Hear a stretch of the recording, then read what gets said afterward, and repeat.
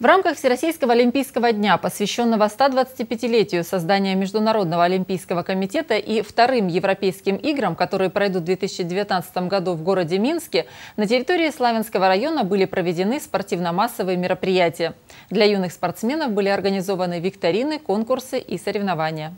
Так, на стадионе спортивной школы «Виктория» прошел открытый турнир по футболу среди мальчиков 2012 года рождения, посвященный Всероссийскому Олимпийскому дню. В соревнованиях приняли участие 8 команд из Краснодара, Крымска, Темрюка, Станиц Новомышастовска и Коневской. Славянский район представляли две команды «Виктория» и «Колос». По итогам соревновательного дня места в турнирной таблице распределились следующим образом. Первое место у юных футболистов из Коневской. На втором месте – краснодарцы, на третьем – команда Новомышастовской. Славянские футболисты футболисты заняли четвертое и пятое места.